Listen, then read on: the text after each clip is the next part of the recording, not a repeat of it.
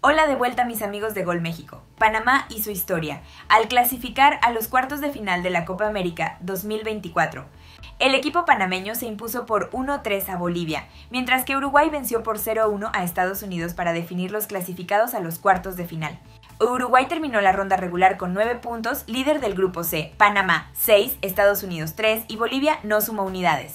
Anoche, en el primer tiempo del partido, Panamá controló gran parte del juego contra un equipo boliviano que se dedicó a esperar, contragolpear y dando en ocasiones varios sustos al guardameta panameño Orlando Mosquera.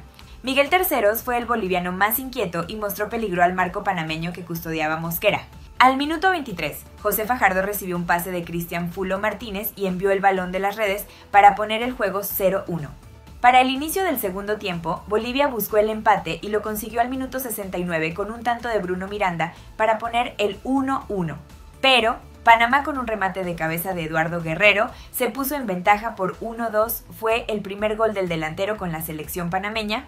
Luego al minuto 90 apareció César Yanis y metió un golazo para poner el 1-3 a favor de Panamá. Gracias a Dios y al técnico por darme la oportunidad, dijo Eduardo Guerrero, que festejó su primer gol con la roja. Guerrero agregó que hay que estar preparado para el cuarto de final y el próximo rival que puede ser Brasil o Colombia. La prensa salvadoreña destacó el buen juego de la selección panameña, y esto es lo que dicen de los dirigidos por Thomas Christiansen. Bienvenidos al mes de julio, de Julio Deli Valdés y de todo el fútbol panameño, que ahora dio un puñetazo en la mesa, eliminó a Estados Unidos por segunda vez, porque lo eliminó en la Copa Oro la vez pasada y ahora lo eliminó en la Copa América. Panamá gigante de la CONCACAF. eh, papamá, le dicen ya a Panamá. Papamá? Papamá. Así le dicen ya a Panamá. Se ha metido ahí en los grandes de, de CONCACAF sin lugar a dudas. México para la casa. Estados Unidos se queda ahí porque está de local, pero también fuera. Y Panamá levanta la bandera y dice, bueno, acá estamos. ¿Verdad? Porque creo que difícilmente alguien se imaginaba que en cuartos de final faltarían los, los eh, bueno, el país organizador el país anfitrión, digamos, Estados Unidos. Sobre México teníamos alguna duda, creíamos que sí era posible que no superara la fase de grupos, pero los Estados Unidos nos sorprende y a eso hay que añadir que lo eliminó Panamá. Desde hace rato viene Panamá, al menos en la narrativa se viene hablando de que Panamá probablemente desplazado a Costa Rica, del primado centroamericano, y reconocemos que hay una nueva rivalidad entre esos dos países, pero con Estados Unidos se le ha pasado completamente la mano y lo tiene, lo tiene de hijo Panamá a Estados Unidos recientemente, hay que decirlo así una noche histórica para el balompié panameño y además eh, una noche muy dura para dos de los tres países que, organizarán la próxima Copa del Mundo.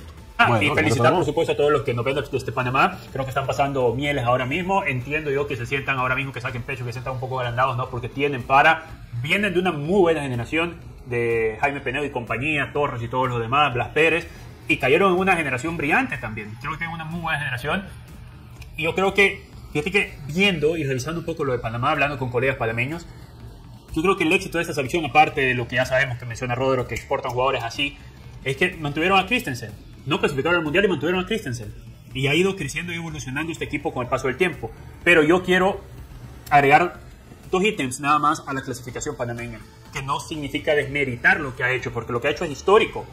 Pero primero, contra Estados Unidos, bien expulsado Timothy Weah, jugó con, contra 10 y jugó con una selección de CONCACAF. Y luego jugó con Bolivia, que ahora mismo es noveno de las eliminatorias sudamericanas. Entonces, si vos ves, entre Canadá y Panamá, tienen Canadá jugó contra Perú, que es décimo de las eliminatorias sudamericanas, ahora juega contra el noveno Panamá y jugó contra un Estados Unidos con 10. Esto hay que meterlo también en el análisis, pero bueno, habrá que sacar ventaja como la puedo sacar Panamá desde lo físico, desde lo físico 100 puntos el equipo de Christensen y ahora pude ver el partido contra Bolivia, lo pasó por encima, Bolivia parecido equipo inferior, un equipo de CONCACAF a la par de los panameños, sin el Cojo Carraquí, sin Aníbal Godoy, que son dos de sus principales piezas en el medio campo. Lo de Panamá y los Christensen es aplaudible desde todos lados que se vean. Tienen muy claro lo que juega y adelante Fajardo se encontró con los goles y ya está. A mí me parece que lo que está distinguiendo a Panamá del resto de países de Centroamérica es que aparentemente el jugador panameño eh, ha encontrado una motivación, un amor propio, un orgullo, un estándar profesional muy alto. Lo ha conseguido formándose en su país, la mayoría de ellos, y luego saliendo, porque así se ha vuelto un fútbol exportador. Eh, yo creo que sin ese ingrediente es difícil entenderlo. No podemos adjudicar todo este éxito que ha llegado Christensen. No, esto se ha, venido, se ha venido cocinando desde hace algún tiempo. Y hoy le decía yo digo que incluso me parece que esta selección, o a Francisco Torres se lo decía, le mando un saludo, esta selección panameña incluso me parece más potente que la que participó en la Copa del Mundo y que creo que tiene un kilometraje que va a ser todavía más largo que aquella generación que alcanzó el Mundial en las últimas etapas de, su época de oro. El seleccionador de Panamá, el hispano-danés Thomas Christiansen, resaltó este lunes el histórico paso de la Roja a cuartos de final de la Copa América tras vencer a Bolivia por 1-3 en la tercera y última fecha del Grupo C. El técnico expresó su respeto por todos sus dirigidos y valoró el gran esfuerzo que han hecho al sobreponerse a situaciones adversas y a la presión por intentar conseguir un objetivo para contentar a un país. Con la mira puesta en la, la siguiente fase, el hispano danés se declaró un poco preocupado por la recuperación del plantel, pues jugar tres partidos de máxima exigencia es duro, aunque confió en los médicos de la selección para lograrlo. Sobre el próximo rival de Panamá, que se definirá entre Brasil y Colombia, Christiansen bromeó con que no quisiera tener que enfrentar a ninguno, pues ambos equipos son jodidos. Sin terminar de asimilar el logro del pase de Panamá a la siguiente ronda, en la que es su segunda participación en una Copa América, Christiansen se declaró súper contento por lo logrado junto a su equipo. Panamá avanzó como segundo de grupo con seis unidades, dejando en el camino a Estados Unidos, la selección anfitriona a la que venció en la segunda fecha por 2-1.